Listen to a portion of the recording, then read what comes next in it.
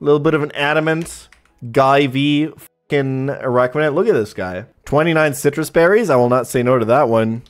Oh my god, our harvests are insane this run. What the f bro? 25 lums? I'm gonna take that sh I'm gonna take that sh Morning, gamers.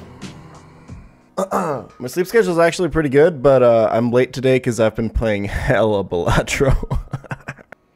Was rock climbing events. I beat the final V2 that I hadn't beaten in the gym yesterday. I struggled with it for like two fucking times that I was there. I attempted like 20 times total, I think. It was sick. Okay, anyway, Morpeko, Aura Wheel, Hunger Switch, Shuca Berry. I don't know anything about this fucking Pokemon, man. I guess I should always poison Breloom when I bring him, huh? But fuck it.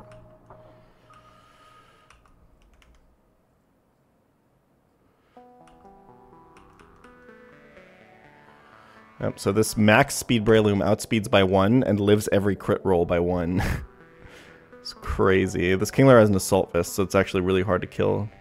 And then this should always be Fake Out. I'm just gonna Liquidation. I think Superpower is a, like a range to kill. I probably should have just given like an item. The most this can do to me is like Covet, so...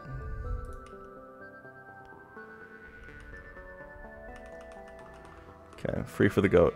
Alright, this fight's a little bit iffy, because this Araquanid's really annoying. But I think we found something cool. So this is a Focus Sash Beautifly. That's okay.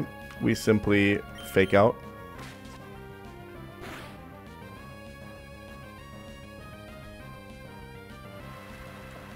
Into acrobatics.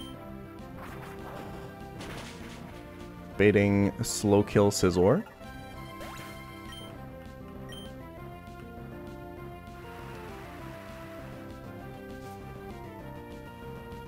This is all very standard, very straightforward. Nothing too crazy about it. I thought for a second I didn't bring Magnezone for some fucking reason. Okay, so this is always dual Wingbeat because he sees the kill with it.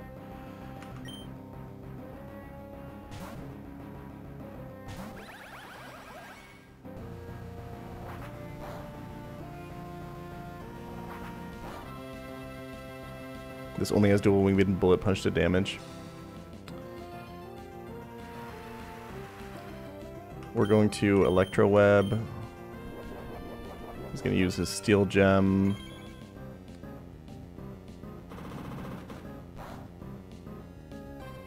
All very standard stuff.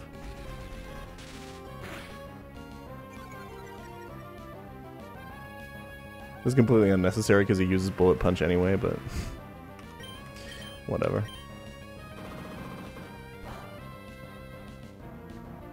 The Magnum was still important because we need to... I guess we don't need to show kill to Araquanid. So unfortunately Magnezone doesn't just straight up kill the Araquanid, and the problem is it has Mirror Coat and Iron Defense, and also the highest special defense you've ever heard of in your life. Um, and then just kind of spam Scald at you, Rain Boosted, and like burns your shit. It's disgusting. So the way we found around this, so we're gonna go to Araquanid, our own Araquanid here. We're gonna get scalded. That's fine.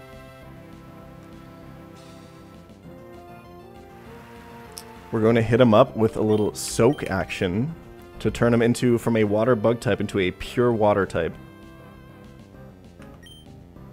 That's fine, you can protect, I don't give a shit.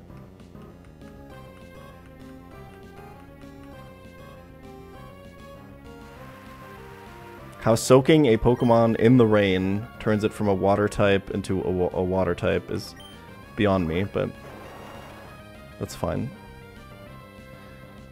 Okay, Iron Defense completely doesn't matter.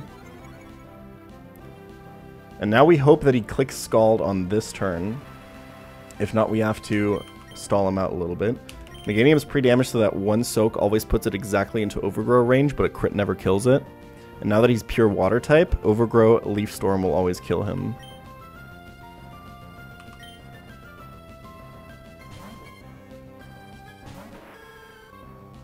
That's fine. The backup strat is to spam Poison Powder.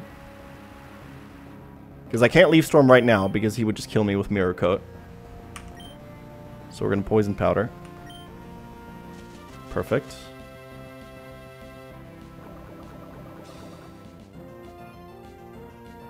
That's fine.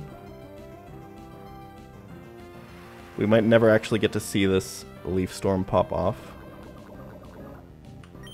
We just gotta click Poison Powder into nothing here the entire time. It's the only thing that makes sense. There we go. Now he puts us into Overgrow. 63, that's perfect. That's exact Overgrow. That was a minimum roll from the Scald, which we accounted for. And uh, he's a pure water type, so he's fucking dead to this. Uh, we outspeed. Yep, there's nothing... Nothing more to it. That super effective sound effect is so satisfying there. Beautiful. I think it'll not be the last time that we use Soak. I might keep it real with you. I think it's gonna come up again. I feel like getting into the habit of doing this repel check, it's probably good, right? Because of pre-damage stuff. Yeah, yeah, yeah. No, it's it's a really good habit. Really good habit to have. Although, honestly, I could just probably say, if I ever accidentally run into an encounter on this route, I would probably just clause it. Like, one of the reasons I didn't clause the uh, Eelektross stuff, right, is we can imagine a scenario where fishing has a really rare, really good encounter in Abandoned Ship, and then I fish and I don't get it and I get Eelektross. I'm like, oh no, I didn't mean to do that at all. I meant to surf. Remember, guys? I told you. And then I just clause it, right? We like 118. You always, always, always delay 118. Because that means you get a life orb. Except your mistake wasn't genuine. Was genuine. Well, it would seem that way, right? But you could imagine a scenario where I pretend that that was a genuine mistake. But like, there's no way that this would. If I say I'm always gonna clause, if I beforehand say I'm always gonna clause that note. If I had beforehand said, before into, going into abandoned ship, if I had said if I accidentally fish here, I'm clausing it, it would have been okay. But I didn't say that beforehand, right? So I would have had the option to fish there, get something really rare and good, and be like, oh, oh, whoops, I accidentally fished, but I got something good, guess I'm catching it. But if I beforehand say I'm clausing that if I fish, I don't have that option. But yeah, I will say, if I ever accidentally run into a 119 encounter on any of these attempts, same with like 117, I'm delaying for fishing, I'm accidentally going in there for pre-damaging, anything like that, I'm just always going to say it beforehand. If I accidentally run into an encounter on 119 ever, I'm always clausing it.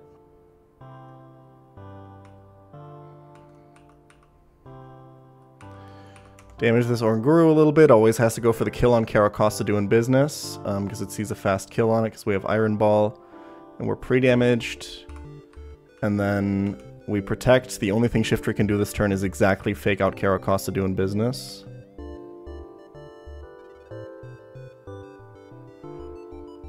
Yep.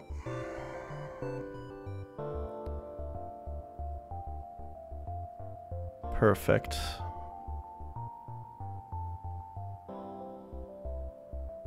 And now Shiftry always has to explode this turn.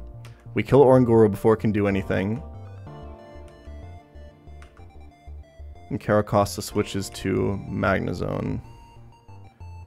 Which should never be dead to Explosion crit. And before Basculegion being immune here means that Magnezone takes single target damage. Why is it always Carracosta doing business? It's just the cost of doing business, man. What do you want from me?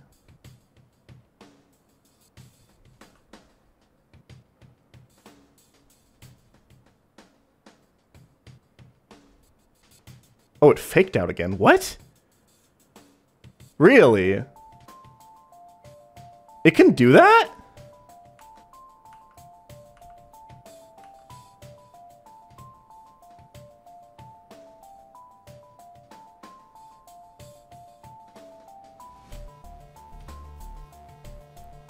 Huh?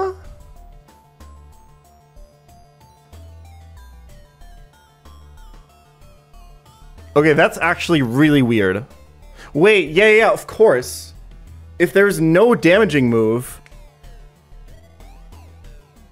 Explosion on turn one... Explosion is just plus 7, 5%, plus 0, 95 at full HP. This is fine. It, it doesn't matter. This doesn't change anything. And then fake out is also just plus zero. Shouldn't fake out be minus 20? I guess not. I guess fake out is also just plus zero. I'm just confused that everyone else in chat is confused. That like the, the experienced players in chat are confused because it feels like this would come up a lot in this specific fight, right? That would imply that AI can fake out kill after turn one. Yeah, that's kind of true. Maybe? No, yeah, fake out would have to get some sort of discouragement. Yeah, this would imply that you can encore fake out, right? Shiftry faked out turn one, and then it faked out turn two. First spirit lock animation here, I think. Yeah, it faked out again. Wait, this is weird as shit.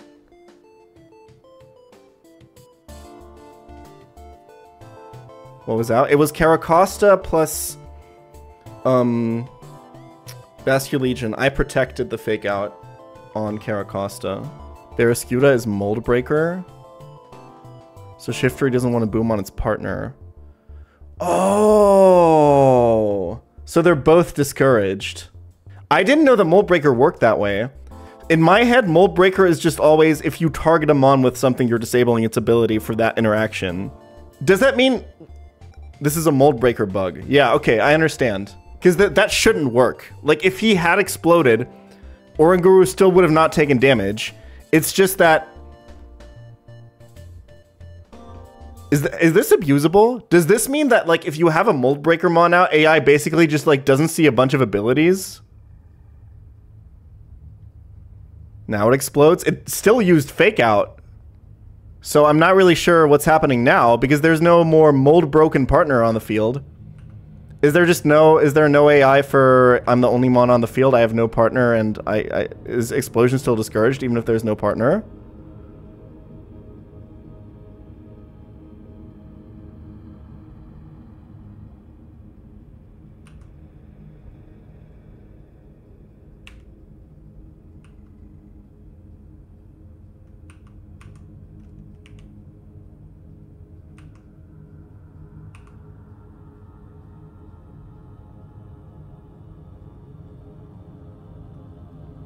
I'm really confused.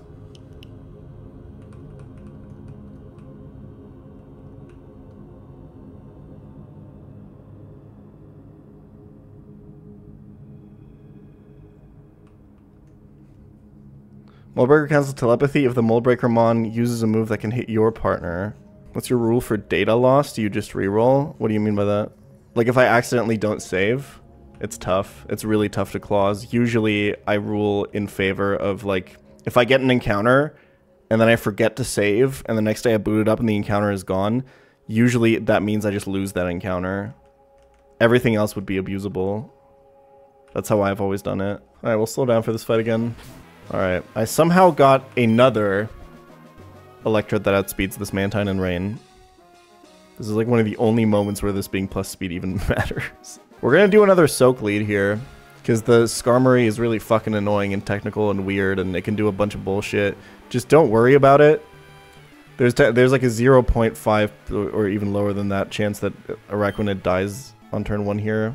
Because he can technically attack on turn one, but it's really unlikely, and then he also has to crit. Honestly, man, I probably don't need to do any of this shit. I think basically my entire strat works if hazards are up anyway if I can be real, but we're just going to do this now, and if I lose a Araquanid for it, so be it, but at least we'll have a nicely cooked fight, and we get to see more soak action. The idea is we want to enable Excadrill to 1v1 this with like rapid spins plus ground moves. So for that, we're going to turn it into a water type, taking away its Brave Bird stab and making it vulnerable to Excadrill's moves. Alright, there's a really, really, really low chance that Spidops dies, or Araquanid dies here, but it's not going to happen. There we go.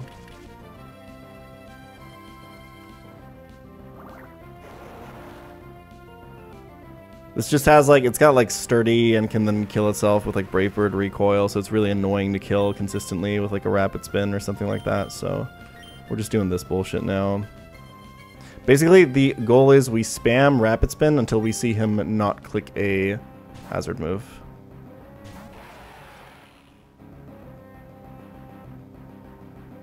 That would be one of them. We have to rapid spin now, obviously, because hazards are still up. If he if he brave birds too much, it's a little bit iffy. Maybe we should just set a, should just let him set hazards. Okay, nice. Rapid spin will also make us faster now.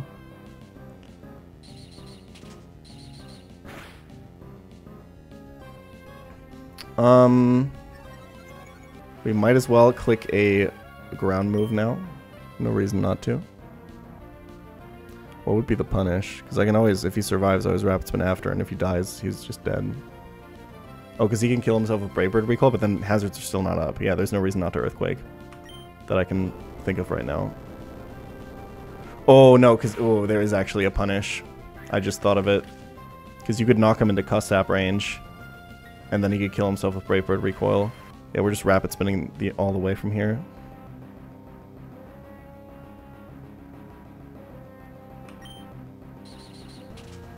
This is so unnecessary. I think I have this fight unlock anyway.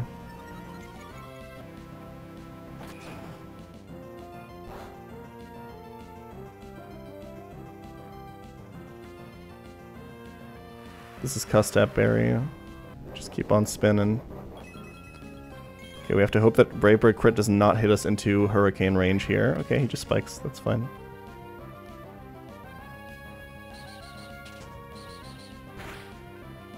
Cool.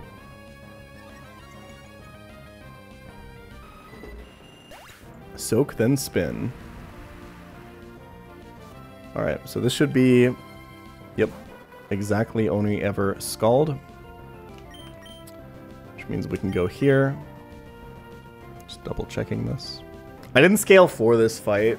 I just like scaling special attack on Electrode is just something we, I'm assuming we would have done eventually anyway.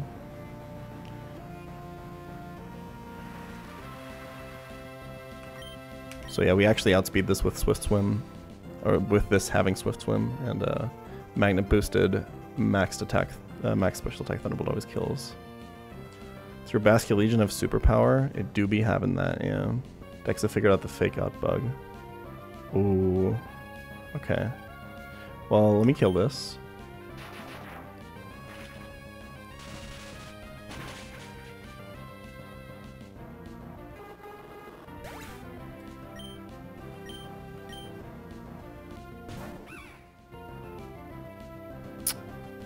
Oh, I so so I was just seeing fast kill is what you're saying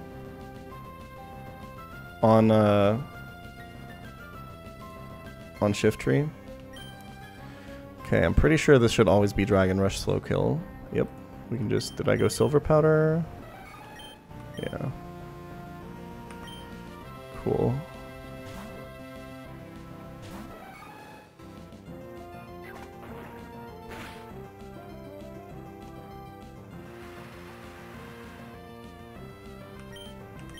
And silver powder X, are with no pre-burn always kills. And we're just faster.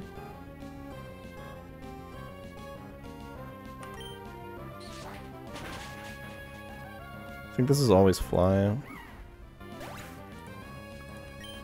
Can be thunder, but it can't be surf, so... I mean, it doesn't matter.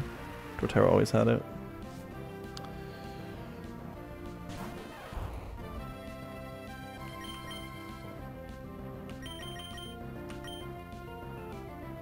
Yeah, this would have, I'm pretty sure, completely worked out fine if I just left hazards up.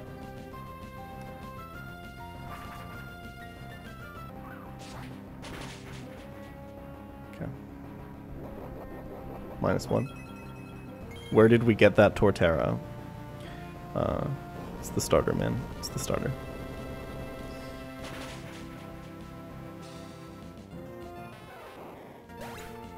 One thing about pChal is if you give him a chance to soak, he will. It's true.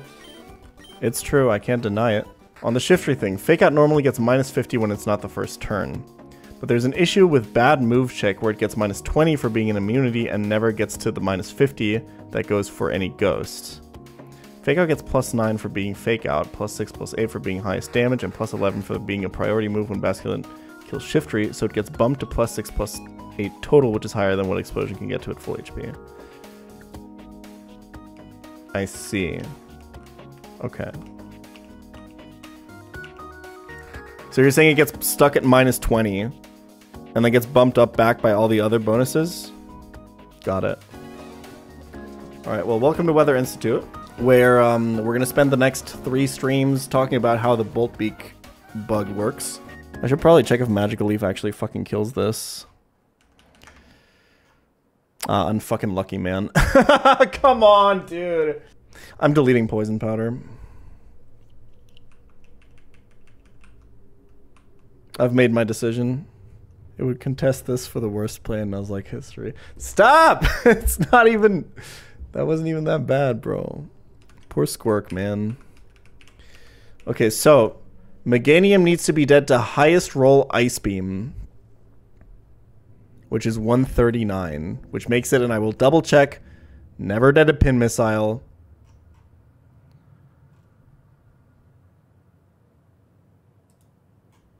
Malamar is slower. Breloom is slower. And I'm pretty sure analytic AI, analytic bug does not matter. Its Ice Beam is just still most damage, and he can't see a kill with Psychic. Psychic would actually be fine, too. We'll see. We'll see if I ever click Synthesis with this Meganium again, man. Fuck it. Delete that shit. Okay, this fight fucking sucks ass, bro, and it's not even the worst. It's not even like the, the second worst fight in this institute, I think. It's arguably not even the third worst one. Tab back in, boys. It's time. Alright, so the first obstacle is this Barbaracle that wants to set up Stealth Rocks really badly and has a Bright Powder, which is obviously horrible. Um, and we decided to forego a 1% to miss with Wide Lens to deleting Poison Powder for Magical Leaf here. Um, the reason I'm leading with this pre-damaged Meganium is because it sets up the only way I found to kill this Starmie. Right, rock is shit.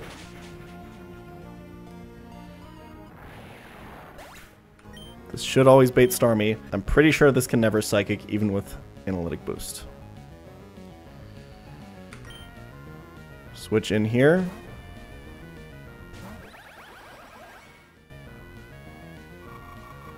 We have Lum Berry in case of freeze. We take a Surf, we Thunderbolt him down.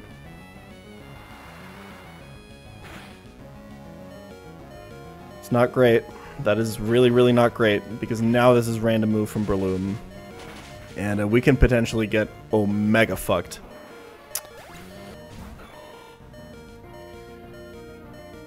Okay, so this Breloom has a Bright Powder, and I don't have no more Aerial ATMs. We're gonna switch to Heracross now. Breloom is faster, which is why it came in in the first place. Obviously, yes, Mach Punch is priority move, but he's faster, so it doesn't matter. This is just random move. This can be Rock Tomb, this can be Mach Punch, or this can be Bullet Seed. Okay, so we need to see low roll Bullet Seed or just Mach Punch here. There's no other play. There's nothing we can do to remedy this. That's unfortunate. Okay.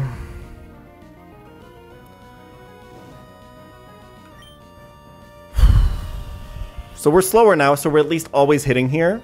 I think we can just die straight up. I'm pretty sure. It's it's unlikely.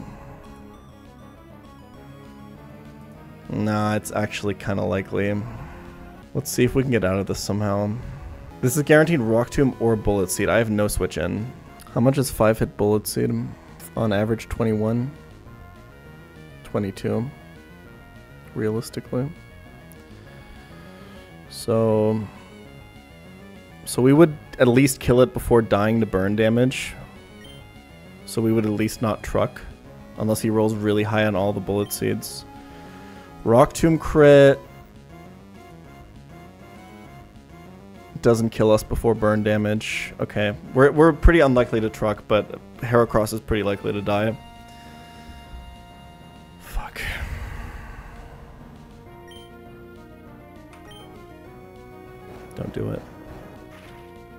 Hold. I think we're fine. I, I don't think we're dead. We're, we're, we're not dead to burn, right? I think we live. I think we're okay.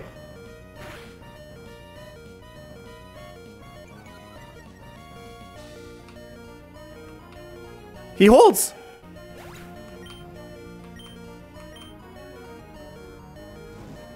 okay. Oh my god. Was that like minimum roll crit or something? I think that was like minimum roll. Holy shit, but this is Malamar now for some fucking reason. Oh, because I'm rock tombed. Oh, that's horrendous. Okay. We're in so much trouble. So this is random move. So our options are either hard Araquanid or do the Basculegion pivot that we were planning on. But Basculegion actually never dies to crit. I'm pretty sure even not with not even with poison damage because we have Sitrus Berry. I think we do the pivot we were originally planning to do. It's poison so it can't hypnosis after. Let's see superpower. That's fine. It's fine. We live crit. It's all good. he crits again. It's actually so insane.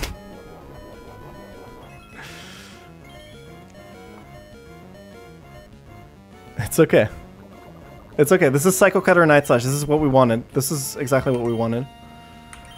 We go here now. We have to avoid like double crit high roll. But I think we win this interaction. Okay.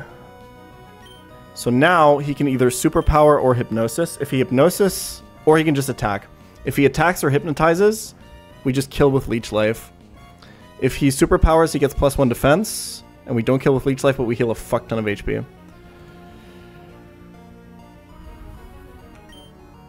That's fine. We have Lumberry. Assuming I equipped it. Thank God.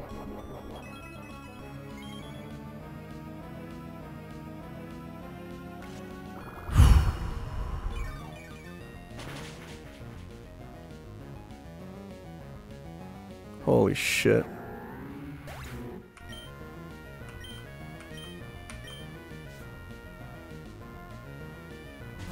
Okay, still not over, by the way. Still not over, but looking pretty fucking good. So, the only answer I have to the Scolipede is Rhyperior. Um, Scolipede has a King's Rock. So, each pin missile hit has a chance to flinch, and it's the highest damage move on Rhyperior. Rhyperior one-shot Scolipede. I literally Okay, hold on one sec. First of all, this can be Swords Dance on the Switch, which is unfortunately extremely fucking horrendous. Um, that is, yeah, where we can still super wipe here. Um, we, we really want to see Rock Slide here, but it's probably going to be Swords Dance.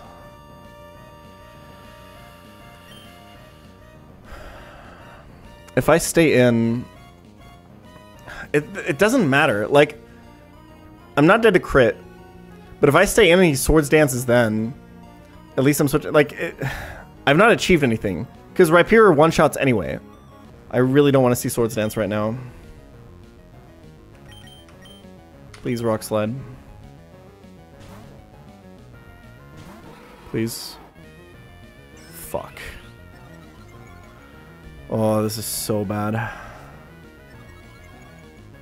This is so fucking bad. Okay, Smart Strike. That's really good. There's like a lot of overlap there. Don't flinch! Fuck.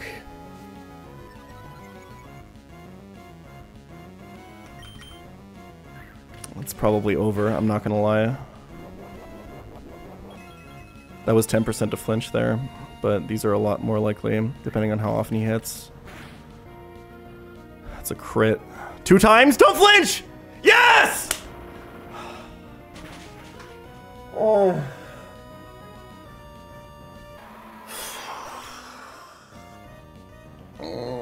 Oh, fuck me, dude. Fuck this fight.